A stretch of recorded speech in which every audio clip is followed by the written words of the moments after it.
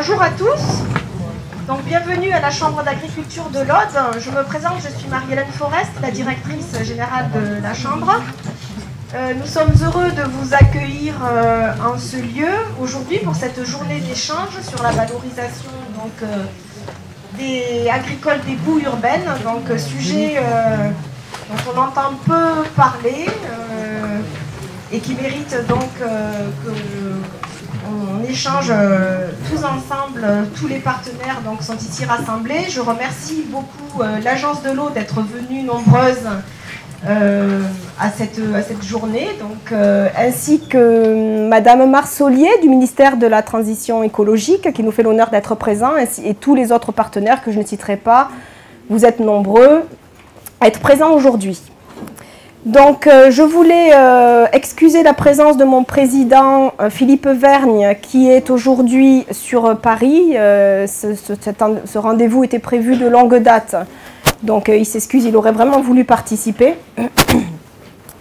Donc je remercie à nouveau l'Agence de l'eau très solennellement de la confiance qu'elle accorde au réseau des chambres d'agriculture, à la Chambre de l'Aude en particulier. Euh, sur ce sujet des MES, donc une initiative qui s'est vite euh, imposée comme une évidence et qui, grâce à votre appui financier et de par vos techniciens, euh, que ce soit l'agence de l'eau RMC ou à Dour-Garonne également, a pu officiellement se structurer, s'organiser et depuis a largement fait ses preuves. Les chambres d'agriculture se sont depuis très longtemps positionnées sur les enjeux du retour au sol de la matière organique en général et des boues urbaines en particulier. Il y a déjà 20 ans, la création des MES, de l'Aude, de l'Hérault et des Pyrénées-Orientales, euh, du Gard, pardon, marquait cette forte volonté des chambres de bien encadrer, agronomiquement parlant, et en appui avec les DTTM réglementairement, le retour au sol des bouts de stations d'épuration. Les agriculteurs ont bien conscience du service qu'ils peuvent apporter aux collectivités en acceptant des boues urbaines sur leur sol. Le retour au sol des biodéchets, déchets verts, biodéchets des collectivités, digesta, compost, est en ce moment au cœur de l'actualité, mais également des évolutions réglementaires, européennes et nationales. Les pouvoirs publics encouragent de plus en plus les pratiques liées au recyclage, et sont aujourd'hui en train de réfléchir le statut des déchets.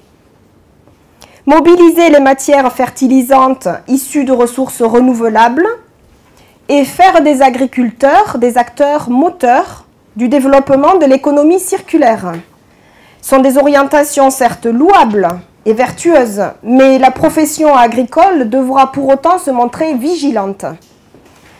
Dans ce contexte, le rôle des MES sera très important parce qu'elles devront veiller à ce que ce retour au sol soit de qualité. Le monde agricole ne pourra pas tout accepter et dans n'importe quelles conditions. Les boues urbaines représentent un sujet qui ne fait pas toujours consensus. Et les MES ont eu le courage aujourd'hui de l'aborder et de jouer carte sur table en réunissant des acteurs très variés associations écologistes, associations de consommateurs, agriculteurs, collectivités, monde scientifique, pour en discuter. J'émets le souhait que les débats durant cette journée soient les plus constructifs et les plus fructueux possibles et fassent émerger des leviers qui iront dans le sens de la protection des sols et des cultures. L'heure n'est pas à la polémique, mais à préparer et accompagner le mieux possible les collectivités à traiter leurs déchets dans le respect de bonnes pratiques agricoles et environnementales. Le monde agricole essaiera d'apporter sa part. Notre sujet d'aujourd'hui n'est que la traduction actuelle d'une idée ancienne déjà exprimée par un grand écrivain. Il n'est aucun guano comparable en fertilité au détritus d'une capitale. Employer la vie, la fumée, la plaine, ce serait une réussite certaine.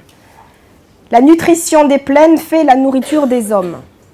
Cet écrivain était Victor Hugo, qui en 1862 écrivait ceci dans Les Misérables au sujet des bouts de la ville de Paris. Comment l'idée exprimée par Victor Hugo peut-elle être mise en œuvre aujourd'hui? Je suis convaincue que les travaux des Mèzes et nos débats d'aujourd'hui vont nous apporter la réponse.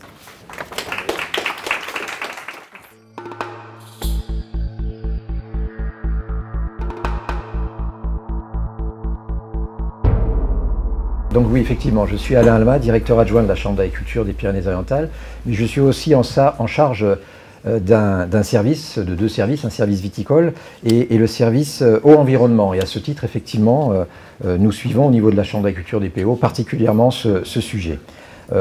mon intervention sera, courte et c'est aussi une, introduction. Et qui veut mettre en avant euh, l'implication des chambres d'agriculture sur ce sujet, et puis aussi euh, et surtout la notion de, partenariat, qu'on on est bien dans une filière avec un partenariat, et ce partenariat est vraiment très important pour la qualité de la filière.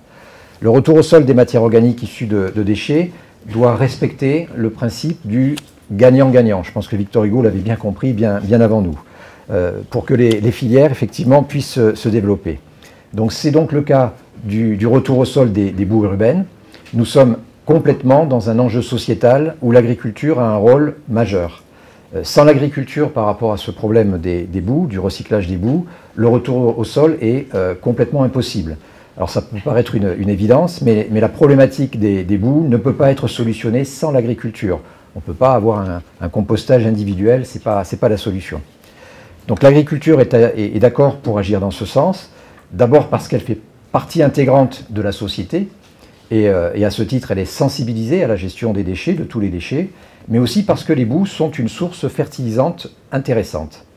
Pas pour toutes les cultures et pas dans n'importe quelles conditions. Aujourd'hui, les intervenants de cette filière sont conscients de cela. Ça n'a pas toujours été le cas et, et souvent par ignorance, d'où le travail que l'on doit faire en matière de transmission d'informations. Les chambres d'agriculture toutes les chambres d'agriculture se sont impliquées. Elles ont accueilli, euh, comme euh, l'a rappelé euh, la directrice de la Chambre de l'Aude, les missions d'expertise, les MES. Dans, la région, 100% des MES sont gérés par les chambres et c'est à peu près le cas dans tout le pays. Ce qui motive et justifie l'engagement des chambres d'agriculture, c'est que si ce retour au sol est vertueux, c'est parce qu'il y a une réelle prise en compte de la valeur agronomique en relation avec les besoins des cultures. Elles vont donc accompagner les agriculteurs et les acteurs et les partenaires de la filière avec cet objectif toujours, en tête. Toutes nos actions vont dans ce sens. Que ce soit dans la mission d'expertise pour les MES ou que ce soit dans la mission d'animation également pour les, pour les MES. Les programmes d'action des MES sont d'ailleurs conduits par des agents qui sont avant tout des agronomes. Ce sont aussi des animateurs qui savent communiquer et proposer des actions qui agissent sur la filière pour l'améliorer fluidité des différentes étapes, il y en a beaucoup, passage euh, de l'info, communication auprès des collectivités et des agriculteurs, harmonisation des procédures, mise à disposition de, documents et outils normalisés, d'outils euh, pédagogiques. Alors on vous expliquera dans le détail ce que fait une, une au quotidien et je crois que vous trouverez dans les allées du bâtiment une expo sur les travaux qui sont, qui sont réalisés. Il est donc très logique euh, que les chambres s'impliquent sur ce sujet, car il concerne nos sols, nos cultures, à travers des notions importantes pour les agriculteurs, des notions de fertilité euh, de terre, des notions de gain de productivité, de rentabilité de nos productions. Je voudrais dans cette introduction plutôt souligner la notion de partenariat. Il est indispensable pour, pour toute euh, filière réunissant plusieurs acteurs, mais pour la filière boue, ce partenariat doit être un partenariat de qualité. Impossible de se retrouver dans un rapport de force si on a un objectif d'amélioration pour cette filière. Pour les collectivités et pour les agriculteurs qui sont euh, à chaque extrémité de cette filière, un bon partenariat d'ensemble est, euh, gage de satisfaction. Et les MEL et les MES ont un rôle vraiment important à jouer. On l'a bien vu. Alors je vais citer en premier lieu l'administration, les DDTM, car la, filière dispose d'un cadre réglementaire euh, dense, parfois complexe, voire confus. Il faut l'expliquer et puis l'appliquer avec l'intelligence de la situation avec ou sans guillemets, on le dit souvent, mais c'est très important dans ce genre de filière. Et il faut avoir toujours en tête la pérennité de la filière et l'objectif de valorisation agricole. Les agences de l'eau, agences de l'État qui assurent en grande partie le, financement des, des Elles sont, au-delà de cet aspect, qui est important, c'est vrai, des acteurs très actifs. On le voit sur le terrain. Le retour au sol est privilégié dans leur stratégie boue, avec les épandages, effectivement, mais aussi le co-compostage. L'expertise des, des MES permet aux agences de vérifier que la dernière étape de ce retour au sol est conforme aux exigences communes. L'accompagnement dans les programmes d'animation de chaque département, et puis depuis 2015 euh, du programme régional, on en parlera, accélère l'amélioration de la filière et va faciliter, pensons-nous, pour les agences de l'eau, l'atteinte des objectifs qu'elles se fixent en matière de valorisation des bouts. Les agences sont sûrement autant satisfaites des implications de l'agriculture dans la valorisation des bouts que nous le sommes de leur accompagnement. Certes, la baisse actée du taux d'intervention euh, des agences pour les MES, conjuguée aussi aux tensions réglementaires dont nous reparlerons, peut fragiliser la filière. Il ne faut pas perdre de vue que euh, l'agriculture fournit quand même un, service à la société tenir compte de ces, éléments pour la suite. Les collectivités communes, collectivités également, euh, communautés de communes, productrices de boue ou chargées de leur élimination, comme c'est le cas par exemple chez nous pour le, le dans les Pyrénées-Orientales, sont au début de la chaîne. Elles sont impliquées et se préoccupent aussi des épandages, pas uniquement de la production de boue, car les parcelles sont bien situées quelque part. Aussi transmettre des informations sur la filière, communiquer, prévenir euh, les nuisances en sécurisant les épandages, c'est quelque chose d'indispensable pour que tout se passe bien. Et d'ailleurs, la situation est assez paradoxale. Les citoyens réclament euh, le recyclage, la valorisation des déchets, des filières dites d'économie circulaire des déchets, c'est un terme effectivement d'actualité, mais vont par ailleurs euh, contester les plateformes, les épandages des agriculteurs pour nuisances potentielles. Donc attention, ça fragilise en ce moment beaucoup la filière. Je pense que les choses s'accélèrent de, plus en plus, on en discutait encore il y a quelques jours avec, euh, avec le CIDETOM. Les départements sont des acteurs clés. Ils cofinancent les MES, leurs SATES, qui sont aussi financés bien sûr par l'Agence de l'eau, conseillent les maîtres d'ouvrage et les exploitants des stations d'épuration. Dans le retour au sol, qui est notre sujet aujourd'hui, ils ont un rôle, notamment dans tout ce qui est prévision des déstockages, et donc ils contribuent à fluidifier la filière pour l'ensemble des acteurs. N'oublions pas les bureaux d'études, je pense qu'il y en a ici aujourd'hui, qui accompagnent les collectivités. Leurs travaux sont primordiaux ce sont ces travaux, ce sont leurs études qui rendent visibles, vérifiables les opérations nécessaires au retour au sol. Leurs rapports sont expertisés bien sûr par euh, l'administration, la DDTM, et bien sûr également par, euh, les MES, in fine, notamment sur le volet agronomique. Alors nous comprenons leur prudence, leur réticence parfois devant des préconisations MES qui bousculent euh, leurs références. Le travail de production d'outils dont on parlera cet après-midi d'outils partagés réalisés par les MES euh, d'Occitanie euh, a été très important. Et je pense, pour avoir suivi les réunions, en tout cas quelques-unes, bien accueillis par les bureaux d'études. Les échanges lors de la présentation et de ces travaux, échanges qui se sont poursuivis après dans chaque département sur des cas précis, attestent que tout le monde souhaite s'appuyer sur des données clairement expliquées, rapidement consultables, partagées et validées.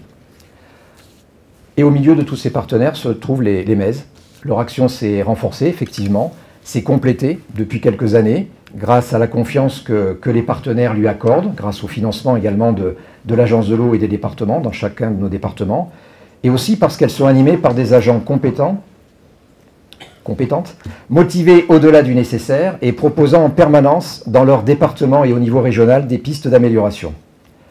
Alors je termine en revenant sur les agriculteurs, utilisateurs de boue, si on se met quelques minutes à, leur place, on se rend compte qu'ils sont quand même en phase de procédures euh, quand même assez compliquées. Des documents multiples, des conventions qu'il faut signer, euh, des engagements pluriannuels, des chantiers à organiser, un plan de fumure à réaliser avec plusieurs engrais, des, fertilisations complémentaires aux apports, aux apports au sol. Donc ils doivent être absolument certains que l'apport euh, de fertilisants pour leur culture, que ces apports sont valorisants. Eux, ils sont par contre conscient en retour qu'ils rendent un service à la collectivité. Nous avons donc tous le devoir, je pense que le terme est adapté, de rendre cette filière efficace et efficiente. Et nous sommes bien dans un système gagnant-gagnant. Donc aujourd'hui, on a l'occasion effectivement de faire un tour complet, un 360 degrés comme on dit maintenant, de l'état de cette filière, mais aussi d'évoquer les risques et les menaces qui, qui, pointent.